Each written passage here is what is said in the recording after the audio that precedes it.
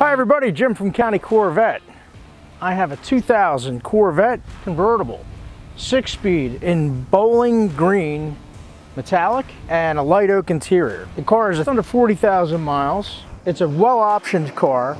As I said, it's a six speed, but it's got the sport power seats, memory package, head up display, tilt, uh, uh, telescope, electric telescoping wheel, and um, there was something else. I know it was about $4,000 worth of options. I have the, uh, the build sheet right here. So it's the standard wheels. Now, we got the car in and had been sitting for some time, not, not really used all that much, and it, it needed, you know, a list of things. Now, we did uh, new tires. We put new um, new Continentals on it. The old tires were good, but they were just they were old, and we won't pass inspection if they're if they're too old. Uh, wiper blades. Um, you I have a list. I'm to read you the list because it, it it's you know it's not. There was one major thing in here, what I would consider major, and that was an AC compressor. Uh, it was making noise, and I just I didn't want to sell it that way. Um, so we replaced that with, a, with an AC Delco unit and, you know, recharged it and all that. Uh, a battery, the sway bar end links, uh, there's a, a retrofit out there now and uh, we just replace all of them. I, I, think I said wiper blades, air filter, you know, the, the, the typical stuff. One key fob was inoperable. Cigarette lighter socket, uh, wasn't uh, wasn't working right, so we, we did that. And uh, the brake and clutch fluid needed to be done. That's pretty typical. But the car overall was in was in excellent shape. Um, I think the bumper cover was painted on it, the front bumper cover. I'm kind of a nudge for texture. It's really good. Uh, my we had a little debate going in the body shop as to whether it was or wasn't and that's good. There's it's a clean Carfax on the car, but you know I want to present it for what it is. Um, and when you get into this mileage, it's still under 50,000, but you know this is a 21-year-old car. This is when you can start to run into problems with cars where you know you get it, you, you think you got a great deal on it, and it needs everything that we did to this car, which you know it starts to add up. So you know that's something to consider and you know, when we when, when we get these cars, we we really try to go through them. We have a checklist, and and we do you know what's required to make it right. Um, I'm not going to say I don't miss things from time to time. I know I did a I did a car a while back, and it was a mid 70s car, an, an air car, and we went through it, charged the AC, and it worked good. And it was a it was a spring uh, day when we tested, it was a little cool and, and uh, it ended up not working and, and, and, I had to deal with that with the customer. Even though it was an as-is sale, you know, these things should work, but now that's a 40, oh geez, a 45 year old AC system. You know, you're, you're, you're way past its, its, its life expectancy, but you know, these systems, uh, parts are available and I'm confident this should last a long, long time well into the future and this should be a good trouble-free car for whoever gets it. So we've gone over this thing in good faith and you know, I, I, I've always loved this color combination. You got great options. So it's a great, great car for the money. This car was just under 50,000 new and you know, we're, we're under half of that and, and it's still, you know, more than half the car. So anyway, uh, overall condition, the seats are really nice. These, these things got really discolored quick, but they, you know, they look good. Uh, we, we did detail this thing nicely and, you know, I think it looks, looks excellent. It is the original top and this car sat inside. It was an indoor kept car.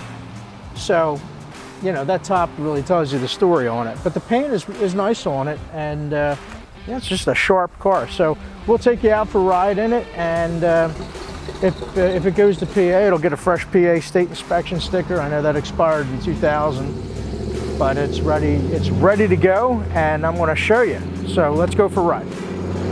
Okay, we're all warmed up here.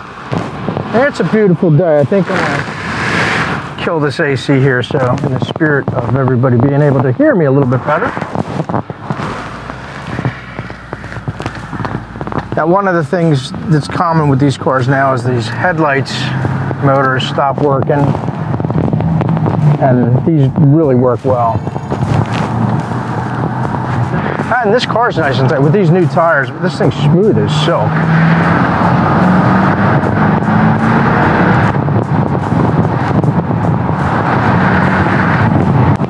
This generation car, C5, or Corvette shall I say, was really the first Corvette that had, you know, sound deadening convertible top. These cars you could drive all year long, you know, given road conditions. But temperature-wise, uh, these these tops really do insulate well. They insulate sound and temperature really beautifully. So, and I know I said earlier how, how nice this top was, but that's indicative of, of how a car is kept. And if the top was kept down, it trashed the tops uh, equally. So this, this car was really nicely kept. I'm going to say it was always garaged. It doesn't have a lot of owners. I think it was a two-owner car. I'll check the Carfax on it, but it is, uh, it is, from what I can see, a really well-kept car.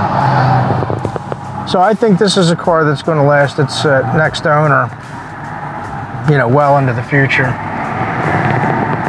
This is the way to, to buy one of these cars. Obviously, like I said, we, we've gone through it and done the appropriate things that were needed.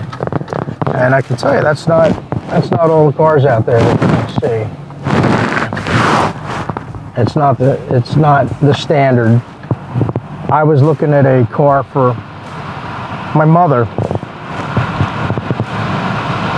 during the week and went out to look at a car. I'm not going to tell you what it was or who it was and all that. I'm not out to slam other dealers, but when I called, I said, I, you know, I'm a car dealer. I'm a, actually a mechanic by trade, and you know, I'm looking for something good and reliable.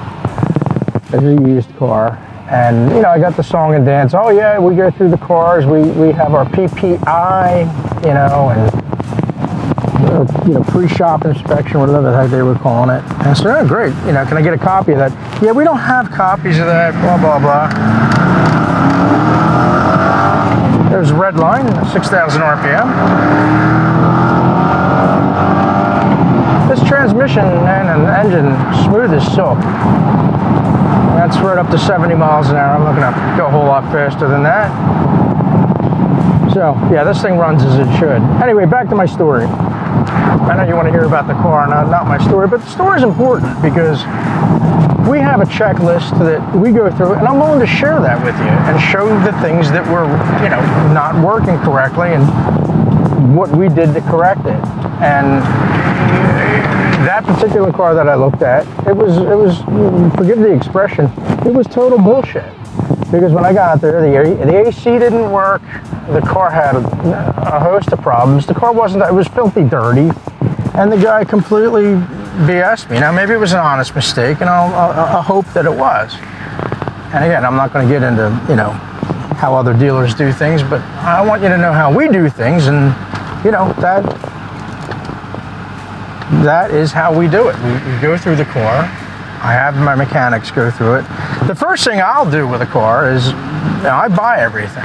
So I'm going to look at a car and eyeball it myself, and I'm going to go check everything. I'm going to check the air, check the lights and all this stuff, check for some collision damage. I will have already, you know, looked at a Carfax before I bought it, and anything else you can help me make an educated decision on buying it. And then on top of that, I'm going to have a technician go through it on a lift. You know, I can't buy cars, uh, you know, typically and, and put them on a lift and all that. I've got to crawl around the on the ground and all that.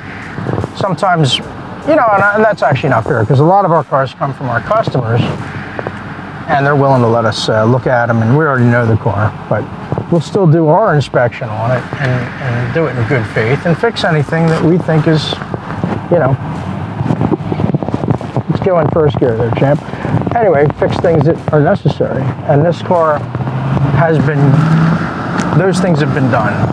So I'll tell you what, this is a good car for the money. Doesn't need anything. And it's a great color combination. and should make, make somebody a great driver for many, many, many more years. So give us a call. Let us know if you're interested.